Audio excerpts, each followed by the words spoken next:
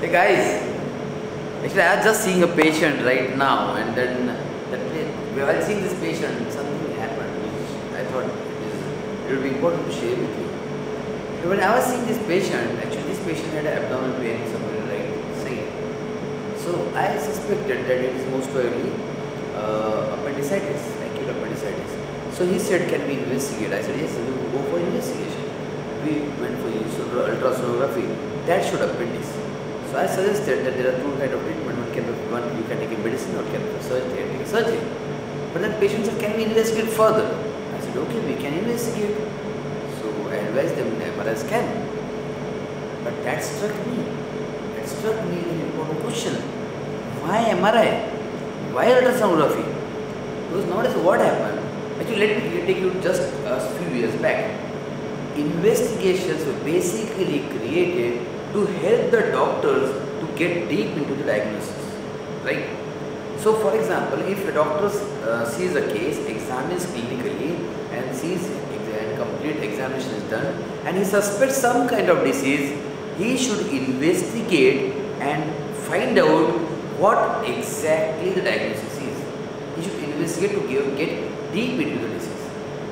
So, suppose example, suppose some patient gets comes with headache now as he comes with headache, as a doctor, we know there are so many kinds of headache and on the basis of symptoms, we conclude that this can be brain tumor, this can be migraine, this can be simple tension headache or a congestive headache and depending on what we suspect, we advise the investigation. This is called as the ideal clinical model of treatment or I will say ideal clinical model of advising the investigation.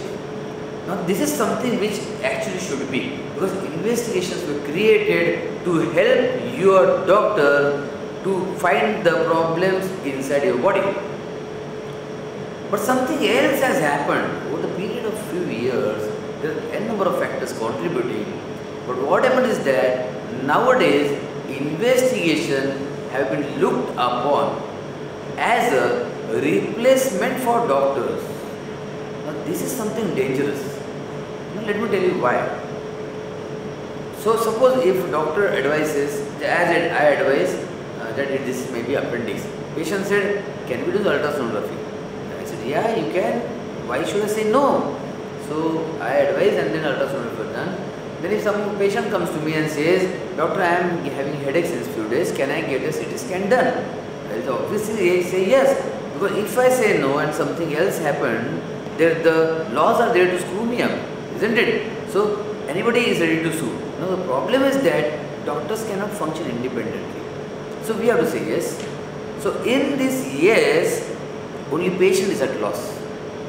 Now patient goes to Google and see that a headache, okay, this can this can cause, this can be investigation, and he always is ready to do investigation.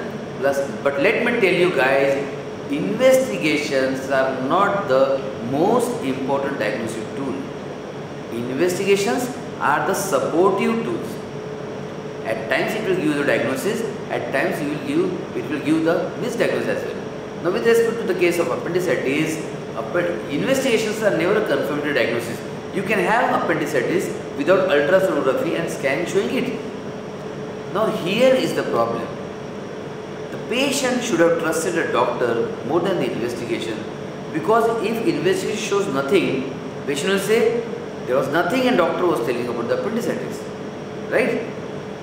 Even the lab investigations, about lab investigations, most of the reports are non-specific and non-completely reliable. All the reports are written kindly correlate clinically means it is the clinical acumen of the physician which is more important for you. It is the clinical expertise of the physician which is more important for diagnosis. It is the clinical expertise of a treating doctor which is going to decide the further treatment, not the investigations because investigations are the supportive, investigations are machine. Some, for example, if somebody comes with a blood report, not necessarily that the blood report is exact because what has happened over the period of years is that pathology or laboratory investigations are losing human, human touch and it is all dependent on machines nowadays. So that if simple standardization is disturbed, reports will show a massive change. Now, should patient get mad with all this change of reports, or it better is better to trust a doctor, trust a trusted doctor, trust a good doctor, a family doctor, because that doctor knows this investigation report is not matching to patient. So let the doctor be the judge, not the Google. Because once the Google takes over, it becomes the death of common sense. Yes, it becomes a death of common sense and no good treatment can come out of Google management. Occasionally Google may benefit in some patient, but majority of times Google is producing bad, bad results.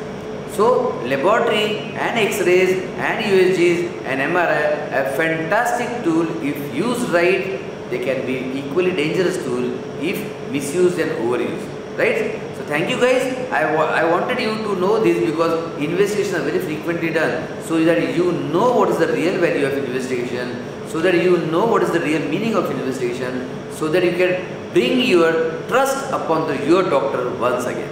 Thank you